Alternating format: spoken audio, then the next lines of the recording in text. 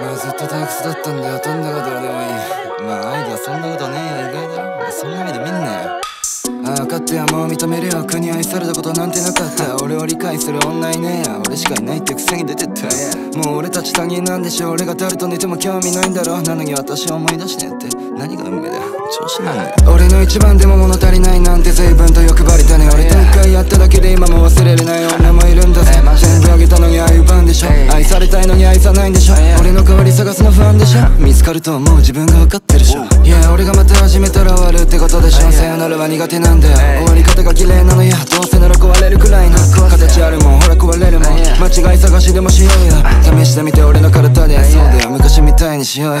そう君は後ろ向いてあとは感じるだけ。退屈したよね。俺もさ激しいのが好きなんだよね。締めるから首もそらさないから目も分かってるって何回も言わなくてもあとは行く時には強く手を握ってほしいんでしょ？口にしなくても俺は分かるあとは何な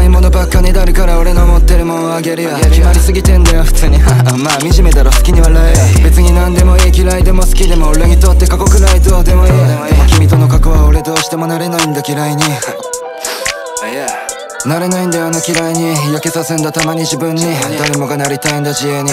調子がいいことばっか言われてる気分だよな。ほとんどがどうでもいいんだよ。